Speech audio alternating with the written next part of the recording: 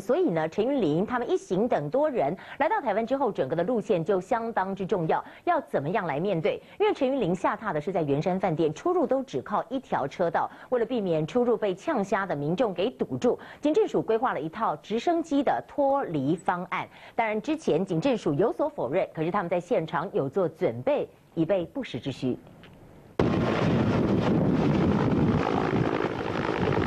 救援的空勤总队直升机，现在多了一项政治任务，要在陈云林来台时投入维安工作。从画面我们可以了解的，圆山饭店的出入口，不管是出还是进，通通只有一条路。为了预防呢，到时候陈云林来台湾的时候，有民众堵住这条路，不让陈云林能够出入呢，其实警政署也已经拟好了万全的直升机脱离计划。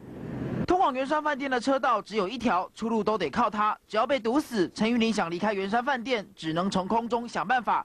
因此，在陈玉林维安计划当中，警政署规划了一套直升机脱离备案，可能派出空警总队 UH 万一级直升机在圆山饭店的停机坪待命，遇到状况时马上起飞往横山指挥所方向前进。预计将降落在横山指挥所山上的直升机停机坪。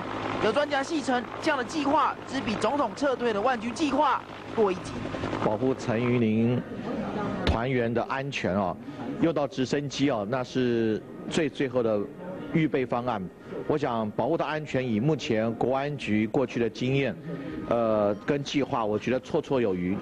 直升机撤离计划，非到必要绝不使用。空中脱离一切 OK，地面上如果有人想到圆山饭店向陈云林呛虾，警政署也有反制行动。海协会长陈云现在确定下榻圆山饭店，而且目前呢，警政署也已经做好相关的维安规划。到时呢，所有通往圆山饭店的登山步道都将由维安人员进行管制。圆山饭店附近有好几条登山步道，到时候很有可能出现三步一岗、五步一哨的部署，想进入饭店区都必须接受盘查，不让陈玉林安全受到任何威胁。警政署力求为安，滴水不漏。追求记者绿桥台北报道。